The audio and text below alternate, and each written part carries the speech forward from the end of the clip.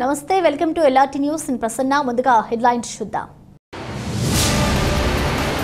జిల్లాలోని police patrolling వాహనాలు అధికారుల వాహనాల పనితీరు. వాటి కండిషన్ల పరిస్థితులను తనిఖీ చేసిన జిల్లా ఎస్పీ రాహుల్ హెగ్డే. కోనరావుపేట మండలం మరిమడ్ల గ్రామంలోని జిల్లా పరిషత్ పాఠశాల ఆవరణలో ప్రతిమా ఫౌండేషన్ ఆధ్వర్యంలో ఉచిత మెగా వైద్య శిబిరం. భగీరథ కాంట్రాక్టులతో పట్టణంతో పాటు గ్రామాల్లోని రోడ్లన్నిటినీ యథాస్థానంలోకి తీసుకురావాలని వేములవాడ కాంగ్రెస్ నేత ఆది శ్రీనివాస్.